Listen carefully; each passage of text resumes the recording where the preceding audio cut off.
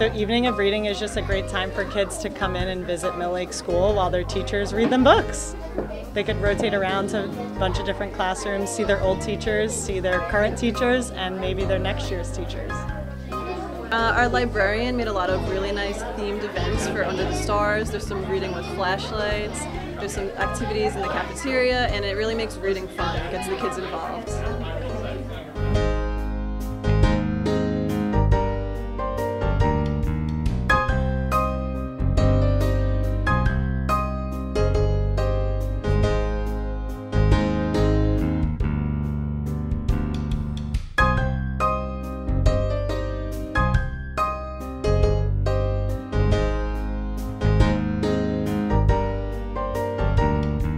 I think it gives the kids an opportunity to get together.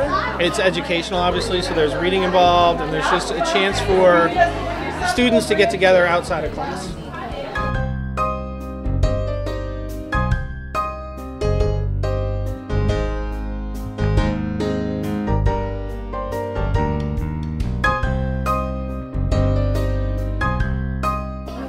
a lot of other teachers like to act out the books. Uh, there's some books that involve singing that have the students become interactive as well. So it's really just a fun night of interacting, the parents get involved, and having the community come out for an awesome event.